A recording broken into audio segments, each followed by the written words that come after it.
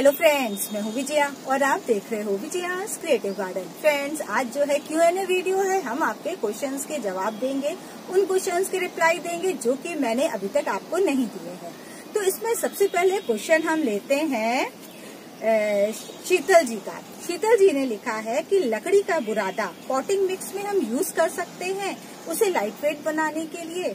तो जी हाँ बिल्कुल आप यूज़ कर सकते हो। लकड़ी का बुरादा अच्छा ही है, जैसे हम लोग कोकोपीट यूज़ करते हैं, वैसे ही लकड़ी का बुरादा है। लेकिन आप उसमें ये भी ध्यान रखना कि प्लांट को न्यूट्रिएंट मिल सके। इसके लिए आप जो है गोबर खाद बर्मी कंपोस्ट बोन मिल जैसी चीज़ों को भी उचित मात्रा में मिला लीजिएगा। नेक्स्ट क्वेश्चन जो है, ये संध्या जी का है। संध्या जी ने लिखा है कि आई हैव एजेलिया प्लांट दो leaves tips have turn brown I think it may be due to over watering please suggest me what to do जी हाँ बिल्कुल जो है ओवर वाटरिंग के चक्कर में हो रहा है। देखिए, जो टिप्स जो हैं ब्राउन हो गई हैं, वो दोबारा से तो ग्रीन नहीं होंगी। लेकिन हाँ आप ये ज़रूर कर सकते हो कि प्लांट में अब थोड़ा सा कम पानी डालिएगा और साथ में अगर आपके यहाँ पर बहुत तेज धूप हो रही है तो उसको तेज धूप में ना रखें। किसी ऐसी जगह पर रखें जहाँ मॉर्निंग की सनलाइट आए। कम पानी देंगी, अब से कम पानी देना शुरू कर दीजिए और कम पानी देंगी तो जो उसकी नई ग्रोथ है वो हेल्दी आएगी तो आप ऐसा कर सकते हो। फ्रेंड्स हमारे पास जो है बहुत सारे क्वेश्चंस जो है, ये चीटियों के बारे में आ रहे हैं, चीटियों की प्रॉब्लम्स के बारे में आ रहे हैं। तो हम जो है आपको कई तरीके के सोल्यूशन बताएँगे। और उसमें से आपका जो भी सोल्यूशन हल हो मतलब आप ट्राई करना, जो भी चीज़ें आपको सुटेबल लगती हैं, वो करिएगा। तो इसका आंसर जो है, हम वीडियो बना करके देंगे। वीडियो जो है, आपको टेन डेज़ में मिल सकता है। नेक्स्ट क्वेश्चन जो है, ये दो जने का लिया है। अनुप्रिया जी का है और रोशनी जी का है। रोशनी जी ने भी मिलता जुलता क्वेश्चन पूछा है। तो हम आपको क्वेश्चन बताते हैं। तो अनुप्रिया जी ने लिखा है कि कुछ दिन पहले सेम के सीड लगाए थे, उसमें चार पाँच लीव्स भी आ गई। लेकिन अचानक देखा तो उसमें छेद हो गए थे लीव्स में छेद हो गए थे, समझ में नहीं आ रहा क्या करें। तो अनुप्रिया जी और रोशनी जी, आपकी लीव्स में जो है लीव्स को कीड़े खा रहे हैं। ऐसा अक्सर होता है मौसम अक्सर ही ऐसा हो जाता है, कीड़े खाते हैं। हमारे भी कई प्लांट्स में कीड़े खाए हुए हैं, छेद छेद कर रखे लीव्स में। तो देखिए, इसके लिए सबसे आसान तरीका ये है कि आप नीम ऑयल का यूज़ करते रहिए।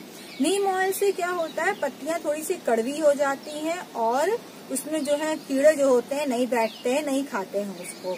देखिए, हम तो नीम ऑयल यूज़ करेंगे। अगर आपको नीम ऑयल से सेटिस्फेक्शन नहीं है तो आप जो है, अपने यहाँ की कोई भी लोकल शॉप है, वहाँ जाकर के आप पूछ सकते हो। जो भी वहाँ पर पेस्टिसाइड वगैरह अवेलेबल हो, उसको यूज़ करिए। नहीं तो बेस्ट मेरा यही है कि आप नीम ऑयल यूज़ करो और थोड़ी बहुत पत्तियों में छेद हो रहा है तो होने दीजिए, कोई फ़र्क नहीं पड़ता है। नेक्स्ट क्वेश्चन जो है, ये नुजत शान जी का लिया है। इन्होंने लिखा है कि आपके गजानिया हैं रेनी सीज़न में कैसे बचाएँ? तो नुजत जी, मेरे गजानिया खत्म हो चुके हैं।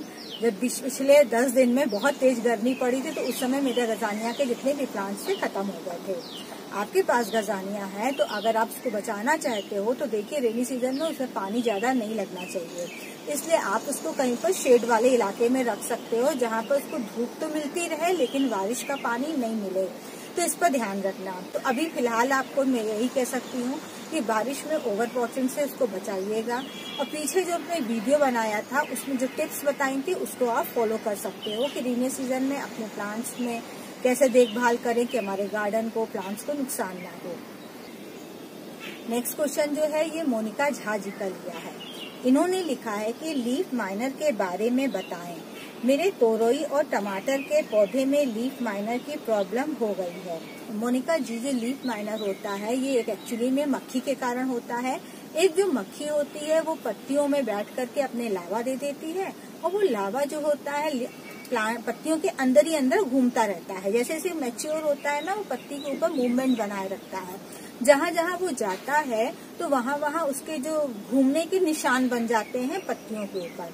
कुछ समय बाद वो अपने आप ही जब मैच्योर हो जाता है तो पत्ती में से निकल करके उड़ जाता है। तो मक्खी अपना लावा देती है तो उस समय आप जो है, अपने प्लांट में नीम ऑयल का यूज़ करो तो वो मक्खी जो है, बैठेगी नहीं इसके ऊपर। और दूसरी बात ये है कि अगर सपोज़ आपके प्लांट में कईयों में लीफ माइनर है तो देखिए सबसे आसान तरीका यही है कि आप उन पत्तियों को तोड़ करके किसी पॉलिथिन में भर करके सीधे डस्टबिन में फेंक दीजिए। हमें सबसे आसान तरीका लगता है। और अगर कुछ पत्तियों में है तो पड़े रहने दीजिए क्योंकि जो लीफ माइनर से जो लावा है मैच्योर होकर निकला होगा वो तो उड़ के चला गया होगा। वो तो उड़ के चला गया होगा उसका आप, आप पकड़ नहीं सकते हो। लेकिन हाँ दोबारा ना दे मक्खी उसके ऊपर प्रॉब्लम हो रही है तो आप नीम ऑयल का यूज़ कर लो। यही मेरे ख्याल से तो यही सोल्यूशन है। फिर आगे हाँ जैसे हमारी जानकारी बढ़ेगी तो हम फिर कभी हो सकता है अपनी और इन्फॉर्मेशन आपके साथ शेयर करें। फ़िलहाल आप टेम्परेरी इलाज तो यही कर सकते हो। ज़्यादा प्रॉब्लम हो रही हो तो पत्ती तोड़ करके फेंक दीजिए, पॉलिथिन में बंद करके। थोड़ी बहुत हो रही तो पड़ा रहने दीजिए, कोई ऐसा फ़र्क नहीं होता है। नेक्स्ट क्वेश्चन जो है, ये रेशमा और शीला जी का है। शीला जी लिखती है कि मेरा चिली का प्लांट सात इंच के पॉट में लगा है। उसमें फ्लावर्स पीले होकर के ड्रॉप हो रहे हैं। मैं seaweed bone meal compost use करती हूँ। देखिए, सात इंच में लगा है, ठीक है, लग जाता है ग्रो हो जाता है, कोई प्रॉब्लम नहीं होती है। आप ये देखना कि आपका जो प्लांट है, वो कितना पुराना है। देखिए, जब प्लांट नया नया फ्लावरिंग करता है तो शुरू के जो कुछ फ्लावर्स होते हैं, वो नेचुरल ढंग से ही गिर जाते हैं प्लांट खुद ही गिरा देता है। और प्लांट में जितने फ्लावर्स निकलते हैं, सबसे जो है, ज़रूरी नहीं होता है कि फल बने, कुछ के बनते हैं। और दूसरी चीज़ आप ये भी ध्यान रखना कि जब आपके में फ्लावर्स आते हैं तो आप प्लांट में बहुत ज़्यादा पानी मत देना। अधिक पानी से भी जो होते हैं फ्लावर्स गिर जाते हैं। नेक्स्ट क्वेश्चन जो है, ये टीना लाल जी का लिया है। इन्होंने पूछा है कि आप इतनी सारी मिट्टी कहाँ से लाते हो? तो टीना जी, मैं गार्डनिंग जो है काफ़ी समय से कर रही हूँ। मैं अपने ग्राउंड फ्लोर गार्डन की मिट्टी बिल्कुल भी टेरेस में नहीं लाती हूँ, क्योंकि ग्राउंड फ्लोर गार्डन में थोड़ी सी मिट्टी में वहाँ की दीमक है प्लांट्स खराब हो जाते हैं। और मैं नहीं चाहती हूँ कि हमारे टेरेस के प्लांट जो है वो दीमक की वजह से खराब हो। तो मैं ग्राउंड फ्लोर से बिल्कुल नहीं लाती हूँ। मैं अधिकतर जो भी मिट्टी इकट्ठा करती हूँ, वो कोकोपीट से लेती हूँ, बनाती हूँ, या फिर जो कंपोस्टिंग करते हैं, उससे। इन्हीं दोनों से मेरी इकट्ठा होती रही है और मिट्टी को जो है मैं रिसाइकलिंग कह दे या फिर कह दे रिफ्रेश करके यूज़ करती रहती हूँ। मिट्टी की जब भी हमें कमी पड़ती है तो हम कोकोपीट के ब्रिक्स मंगा लेते हैं, उसी को यूज़ करते हैं, उसी में खाद और बर्मी कम्पोस्ट ये सब मिला के यूज़ करते हैं। साथ में हम जो है कंपोस्टिंग भी करते हैं। आपको मेरे प्लांट जितने भी आपको दिखा रहे हैं, दिख रहे हैं यहाँ पर, जब भी ये प्लांट सूखेंगे, सीधे मेरी मिट्टी में बदलेंगे। तो इन सबसे भी मेरी मिट्टी जो है, बढ़ती रहती है। तो कंपोस्टिंग करने से किचन वेस्ट का जो है, उससे भी कंपोस्टिंग करने से कोकोपीट इन सबसे मेरी मिट्टी जो है, ये बढ़ जाती है। नेक्स्ट क्वेश्चन जो है, ये भी कई लोग ने पूछा है। इस समय नाम जो मेरे पास है, ये तनिष्क जी हैं और जसबीर जी, इन्होंने पूछा है। इन्होंने लिखा है कि जो इनके वेजिटेबल्स के प्लांट है, एक जने ने कद्दू का लिखा है, एक ने कुकम्बर का लिखा है। तो इन्होंने कहा है कि इसमें जो है केवल मेल फ्लावर्स आ रहे हैं, फीमेल फ्लावर्स अभी नहीं आ रहे हैं। तो मैं ये कहूँगी कि देखिए, सबसे पहले मेल फ्लावर ही आते हैं।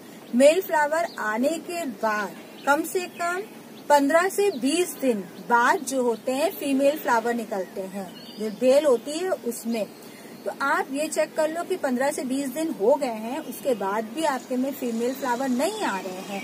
तो आप ये कहीं देखना कि आप अपनी मिट्टी में बहुत ज़्यादा नाइट्रोजन तो नहीं दे रहे हो मतलब बहुत ज़्यादा गोबर खाद तो यूज़ नहीं कर रहे हो।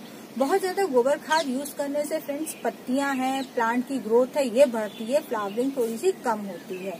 लेकिन मेल फ्लावर आ रहे हैं आपके में तो उसके लिए हम आपको ये कहेंगे कि आपका अगर कोई भी बेल है, बहुत ज़्यादा बढ़ रही है। बहुत ज़्यादा बढ़ने के मतलब है उसमें जो है जो मेन ब्रांच होती है, उसमें पंद्रह पत्ते तक आ गए हैं, पंद्रह लीव्स आ गई हैं तो उसको आप हटा दीजिए, खुटक दीजिए वहाँ से पिंच कर दीजिए। पिंच कर देने से उसकी साइड ब्रांचेस निकलेंगी। जो साइड ब्रांचेस होती हैं, उसमें फीमेल फ्लावर्स के आने के चांसेस ज़्यादा रहते हैं। अब उस फीमेल साइड ब्रांचेस में भी देखिए कुछ एक्स्ट्रा बढ़ रही है। मतलब उसमें भी पंद्रह पंद्रह लीव्स हो रही हैं तो फिर वहाँ से आप उसको पिंच कर दो।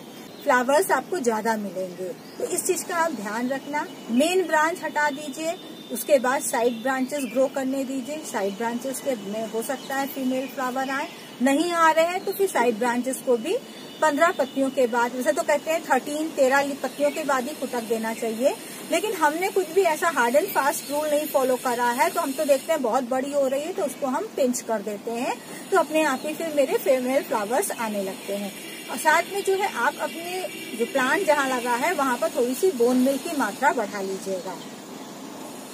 तो इसको करिएगा फॉलो देखिएगा आपके में फीमेल फ्लावर्स आएँगे। तो ये सब तो क्वेश्चंस थे, हमने रिप्लाई कर दिया है। कुछ क्वेश्चंस के रिप्लाई नहीं करे हैं।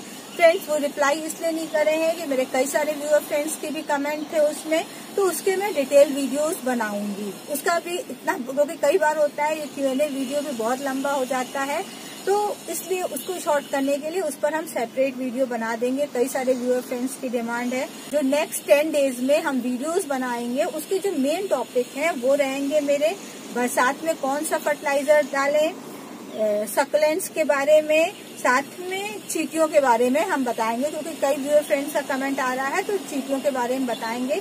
जल्दी विद इन टेन डेज़ आपको इन सबके क्वेश्चन के आंसर्स मिल जाएँगे मेरे वीडियोस के मार्फत से।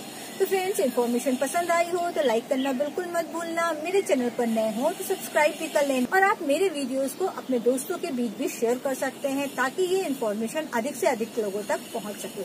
फिर मिलेंगे आपसे एक नई जानकारी के साथ। तब तक के लिए गुड बाय